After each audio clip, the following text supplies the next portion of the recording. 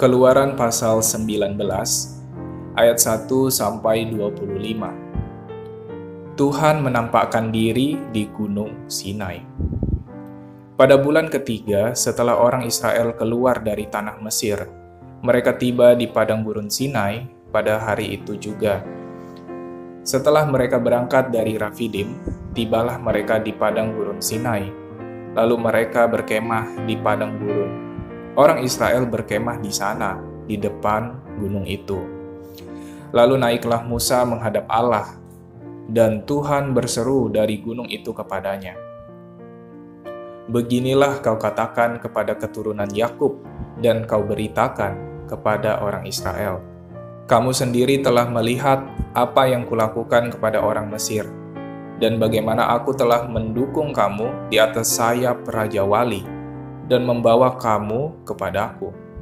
Jadi sekarang, jika kamu sungguh-sungguh mendengarkan firmanku dan berpegang pada perjanjianku, maka kamu akan menjadi harta kesayanganku sendiri dari antara segala bangsa, sebab akulah yang empunya seluruh bumi. Kamu akan menjadi bagiku kerajaan imam dan bangsa yang kudus.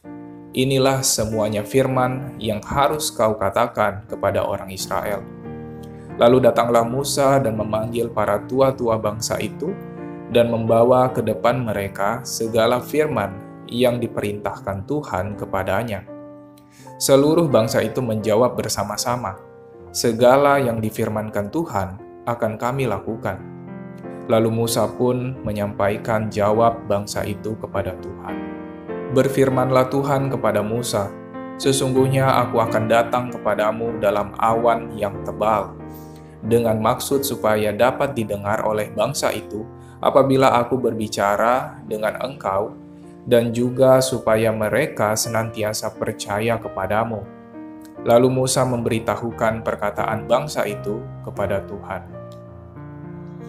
Berfirmanlah Tuhan kepada Musa, "Pergilah kepada bangsa itu, suruhlah mereka menguduskan diri pada hari ini dan besok, dan mereka harus mencuci pakaiannya." menjelang hari ketiga, mereka harus bersiap, sebab pada hari ketiga Tuhan akan turun di depan mata seluruh bangsa itu di Gunung Sinai. Sebab itu, haruslah engkau memasang batas bagi bangsa itu berkeliling sambil berkata, "Jagalah baik-baik, jangan kamu mendaki gunung itu atau kena kepada kakinya." Sebab siapa pun yang kena kepada gunung itu, pastilah ia dihukum mati. Tangan seorang pun tidak boleh merabanya, sebab pastilah ia dilempari dengan batu atau dipanahi sampai mati. Baik binatang, baik manusia, ia tidak akan dibiarkan hidup. Hanya apabila sangkakala berbunyi panjang, barulah mereka boleh mendaki gunung itu. Lalu turunlah Musa dari gunung mendapatkan bangsa itu.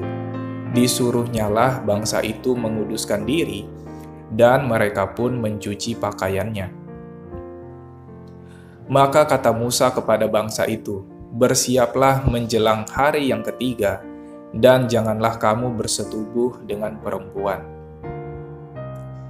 Dan terjadilah pada hari ketiga, pada waktu terbit fajar, ada guruh dan kilat dan awan padat di atas gunung, dan bunyi sangkakala yang sangat keras sehingga gemetarlah seluruh bangsa yang ada di perkemahan. Lalu Musa membawa bangsa itu keluar dari perkemahan untuk menjumpai Allah, dan berdirilah mereka pada kaki gunung. Gunung Sinai ditutupi seluruhnya dengan asap, karena Tuhan turun ke atasnya dalam api. Asapnya membumbung seperti asap dari dapur, dan seluruh gunung itu gemetar sangat. Bunyi sangkakala kian lama kian keras. Berbicaralah Musa.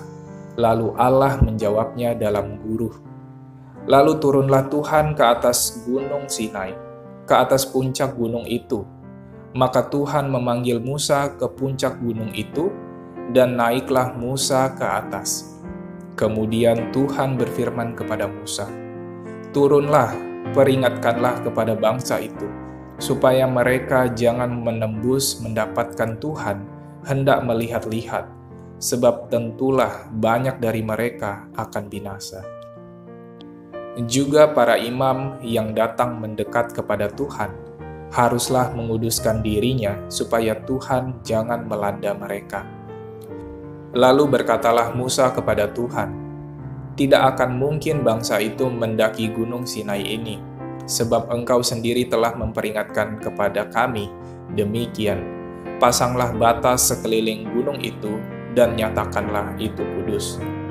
Lalu Tuhan berfirman kepadanya, Pergilah, turunlah, kemudian naiklah pula, engkau beserta Harun, tetapi para imam dan rakyat tidak boleh menembus untuk mendaki menghadap Tuhan, supaya mereka jangan dilandanya Lalu turunlah Musa mendapatkan bangsa itu dan menyatakan hal itu kepada mereka.